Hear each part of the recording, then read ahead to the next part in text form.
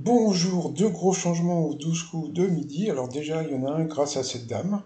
Voilà, donc euh, cette dame, c'est elle qui a fait la décoration de Noël. Voilà, donc euh, depuis hier, on peut voir la déco de Noël. Vous avez un autre euh, bon changement, c'est que eh bien, les étoiles ne sont plus vertes, euh, mais bon, jaunes, dorées, d'accord Mais vous avez aussi un, un autre changement, et le changement, il est de taille, parce que eh bien, le changement, c'est que quand Jean-Luc Reichmann arrive, euh, pour le coup d'envoi, eh bien, les candidats sont déjà installés. Voilà. Alors bon, euh, hier, ils ont mis les prénoms. J'espère que ça va continuer parce que c'était toujours chiant de ne pas voir les prénoms. Alors, euh, est-ce que ça va...